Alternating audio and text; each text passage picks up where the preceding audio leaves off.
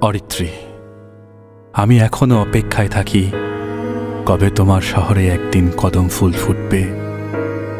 ঝুম করে বৃষ্টি নামবে। নব্বইয়ের দশকের কোনো একটা পরিচিত রোমান্টিক গান টঙের দোকানে আচমকা বেজে উঠবে।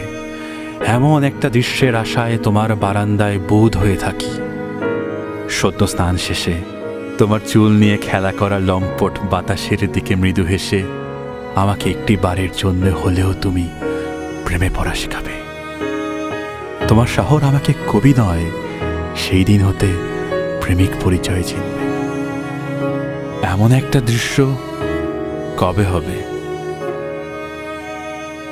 এই বছরও কি বৃষ্টিবিহীন বর্ষা তবে?